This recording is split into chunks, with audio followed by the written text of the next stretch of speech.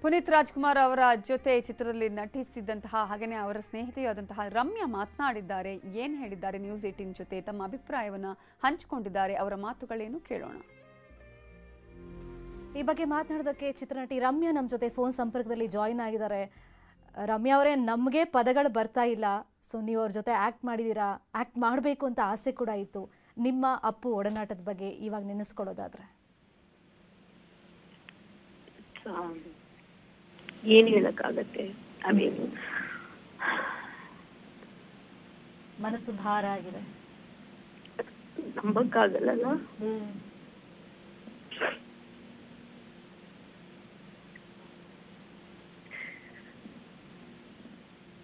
ಎಷ್ಟೊತ್ತಿಗೆ ನಿಮಗೆ ಸುದ್ದಿ ಗೊತ್ತಾಯ್ತು? ಈಗ ಜಸ್ಟ್ ಸ್ವಲ್ಪ ಐ ಮೀನ್ ಯಾರಿಗೂ ಗೊತ್ತಿರ್ಲಿಲ್ಲ ಅಲ್ಲ ಏನಾಗಿದೆ ಅಂತ. ಹೌದು. ಈಗ ಸುದ್ದಿ ಬಂತು ನನಗೆ I just in shock because ನಾವಿಬ್ರು ಆ, ಆ, ಇತ್ತೀಚೆಗೆ ಲಾಂಚ್ ಆಯ್ತಲ್ಲ ಸಿನಿಮಾ ಯಾವ್ದು ದ್ವೈತ್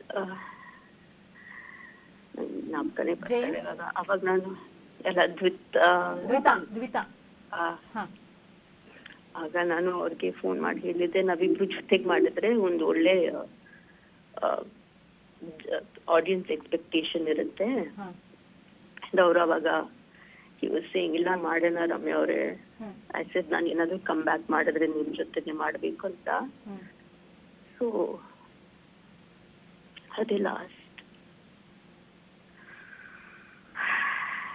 ನೋಡಿ ಯಾವಾಗ್ಲೂ ನಗು ಮುಖದಲ್ಲೇ ನಾವು ಅಪ್ಪುನ ನೋಡಿರೋದು ಅಪ್ಪು ಸರ್ನ. ಕರೆಕ್ಟ್ ಹೌದು. ಫೋಟೋಸ್ ನೋಡಿದಾಗ ನೋಡಕ್ಕೆ ಆಗಿಲ್ಲ ನನಗಂತೂ. ಪ್ರತಿಯೊಂದು ಸಿನಿಮಾದಲ್ಲಿ ನಾನು ಅವ್ರ ಜೊತೆ ಮಾಡಿದಾಗ is always joking dull moment ಇಲ್ಲ. ನನ್ನ ನನ್ ಕಾಲ್ ಎಳ್ಯೋದಾಗ್ಲಿ ಬೇರೆಯವ್ರ ಕಾಲ್ ಎಳ್ಯೋದಾಗ್ಲಿ ಜೋಕ್ ಮಾಡೋದಾಗ್ಲಿ ಯಾವಾಗ್ಲೂ ನಗ್ ನಗ್ತಾನೆ ಇರ್ತಾ ಇದ್ರು ಸೀರಿಯಸ್ ಆಗಿ ತಗೋತಾ ಇರ್ಲಿಲ್ಲ. ನಾನೇನಾದ್ರು ಟೆನ್ಷನ್ ಇದ್ದಿದ್ರೆ ಅವ್ರು ಬಂದ್ ಸುಮ್ಮನೆ ಏನೋ ನನ್ನ ಟೀಸ್ ಮಾಡೋದು bye boy Ramya just relax be happy ಅಂತ ಹೇಳುವರು ನನಗೆ. ಸೊ ಆಮೇಲೆ ನಾನು ಪಾಲಿಟಿಕ್ಸ್ ಹೋದ್ಮೇಲೂ ಕೂಡ ತುಂಬಾ ಸಪೋರ್ಟ್ ಮಾಡ್ತಾ ಇದ್ರು.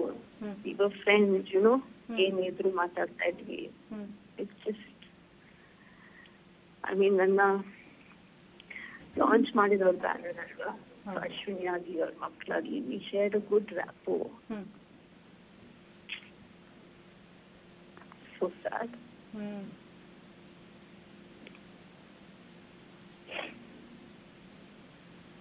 correct ನಾನು ಆಗ್ಲೇ ಹೇಳಿದ್ನಲ್ಲ ಒಂಥರ ಪದಗಳೇ ಬರ್ತಿಲ್ಲ ಯಾರ ಬಾಯಿಂದಲೂ ಇವತ್ತು ಒಂಥರ ಕರಾಳ ಶುಕ್ರವಾರ. ಆಲ್ ಆಫ್ ಸಡನ್ ಈ ನ್ಯೂಸ್ ಬಂದಾಗ ನಂಬೋದಕ್ಕೆ ಯಾರಿಗೂ ಆಗ್ತಿಲ್ಲ ಡೈಜೆಸ್ಟ್ ಮಾಡ್ಕೊಳ್ಳೋಕೆ ಆಗ್ತಿಲ್ಲ ಒಂದಿಷ್ಟು ಪುನೀತ್ ರಾಜ್ಕುಮಾರ್ ಬಗ್ಗೆ ಮಾತಾಡ್ಕೊಂಡು ಹೋಗೋಣ ರಮ್ಯಾ ಅವರೇ.